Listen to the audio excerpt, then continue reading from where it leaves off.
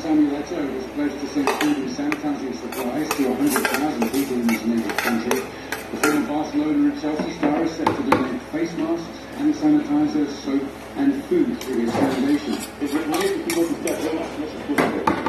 To do so, we need to be able to eat every day. We cannot help everybody, but we can help them for for one or two days. It's still something. Liverpool Sadio Mane has donated $50,000 to the National Medical Commission in his home country of Senegal. And the Chelsea legend Didier Drogba has offered up his Ivory Coast hospital to be used as a coronavirus treatment centre.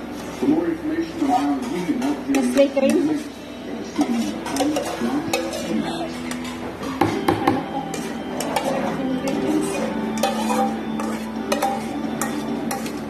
Hello, my name is Olivia Ramini. I'm a biologist. I'm from Milan, which is one of the, the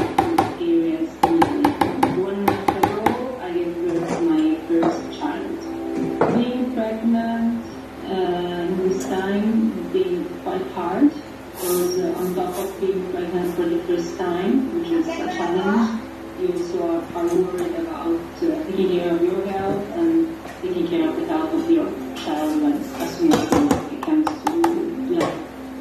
And uh, when I gave birth, I was completely alone. My boyfriend wasn't allowed to come in, wasn't allowed to not even come in, in the room after I gave birth. And couldn't come to visit me and uh, his daughter uh, the day after. And it is a challenge, but I have to say that there is a, another a good side of it because you have the occasion to really, really get close to your to your child in the very moment.